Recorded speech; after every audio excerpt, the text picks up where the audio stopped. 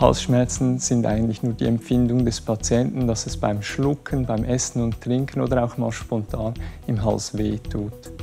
Halsschmerzen kommen bei Erwachsenen so circa zweimal, zwei bis dreimal im Jahr vor. Bei Kindern, je nach Altersgruppe, häufiger.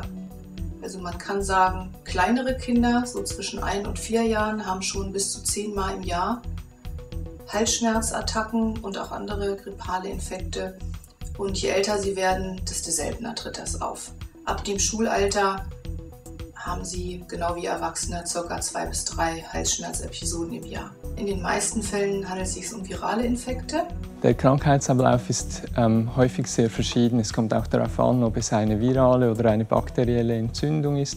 Häufig beginnt es mit ganz leichten Schmerzen, eben beim Schlucken vielleicht, und baut sich dann auf. Wenn es viral ist, dann ist es häufig einhergehend mit anderen Symptomen wie ähm, trockenem Husten, laufender Nase, Gelenkschmerzen, Muskelschmerzen.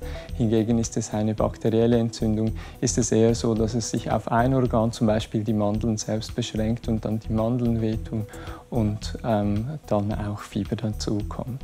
Handelt es sich um einen viralen Infekt, sind Antibiotika sinnlos, weil sie gegen die Viren gar nicht wirken.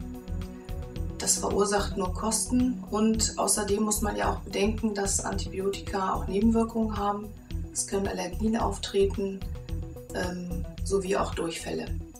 Und gegebenenfalls auch Pilzinfektionen. Folgen können sein, halt, wenn man zu viel Antibiotika einsetzt, ist, dass die Antibiotika nicht mehr wirken und man, kann, man muss dann andere Antibiotika einsetzen. Wenn dann keine mehr zur Verfügung stehen, haben wir ein großes Problem, weil bereits banale Infektionen mit äh, Bakterien dann nicht mehr korrekt behandelt werden können und speziell bei geschwächten Patienten dann halt doch auch zum Tod führen können. Meistens ähm, handelt es sich um einen Virusinfekt und den Virusinfekt behandelt man, äh, indem man in erster Linie erstmal etwas gibt gegen die Schmerzen. Ähm, das gibt Lutschpastillen, die enthalten Lidocain, das ist ein Lokalanästhetikum. Ähm, dann ist in den Lutschpastillen meistens noch eine bakterientötende Substanz mit dabei, zum Beispiel Chlorhexidin. Und durch das Lutschen der Pastillen wird vermehrt Speichel produziert. Will man Halsschmerzen vorbeugen, sollte man zum einen auf eine ausreichende Anfeuchtung der Schleimhäute achten. Ähm, das bedeutet ausreichend trinken. Wichtig ist, dass man auch nicht in zu trockener Luft schläft.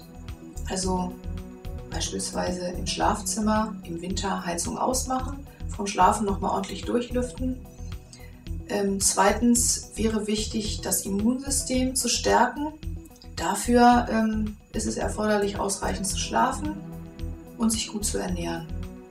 Dann äh, ist es auch wichtig, eine ausreichende Mundhygiene zu betreiben, zweimal täglich Zähne putzen und nicht rauchen.